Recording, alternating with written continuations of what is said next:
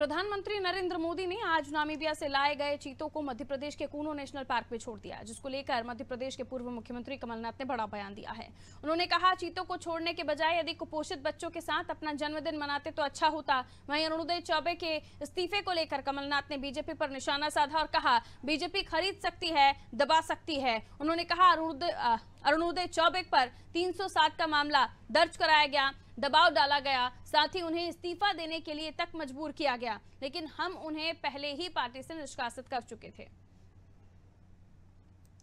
जो पंप का मैकेनिक है, जिसकी किराने की दुकान है, हमारे जो इंदौर के बाज़ार और भोपाल के बाज़ार है, कोई दिल्ली से नहीं आता।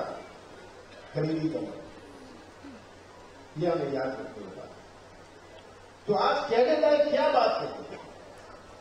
पूरा किसान तरस है।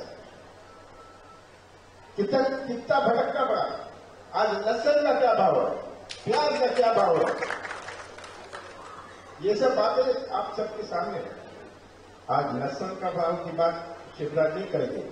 वो तो जाके आज शिवपुर में चीता की बात करेंगे। चीता की बात करेंगे।